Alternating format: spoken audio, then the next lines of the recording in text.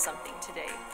I think one of the things that's unique Dude. about uh, the Coding Dojo experience is there's a pretty wide range of backgrounds good. of the different I like people. her. Some people have never I like programmed, some people have CS degrees. When you come into this program, you can get out of it what you want.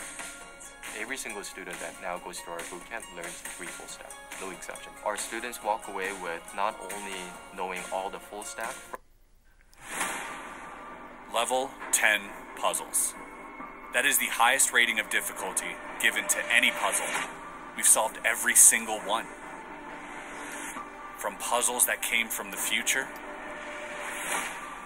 to impossible locks, to puzzles designed to drive you mad,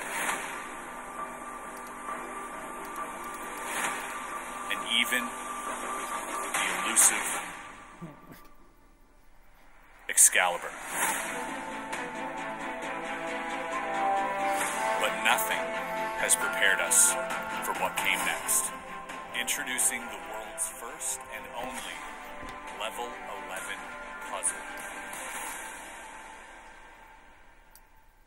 Yo, what's up, and welcome back. Today, a very special extra video for you because I have received this insane level 11. Never thought I'd see the day. These were only really ever a myth or a joke or a meme uh, in the comments, and, and lo and behold, here we have a level 11. So this is a handcrafted solid block what I can tell. Uh, it is shaped as a die. It is also aged and weathered to make it look like it's a vintage dice, which is really nice. The patina on it is really pretty, really beautiful. The thing weighs a ton. It's super heavy. And I'm not exactly sure what the goal is here or even if there is a goal uh, but that's something i can't wait to find out so don't forget to like and subscribe and let's get into solving the level the world's only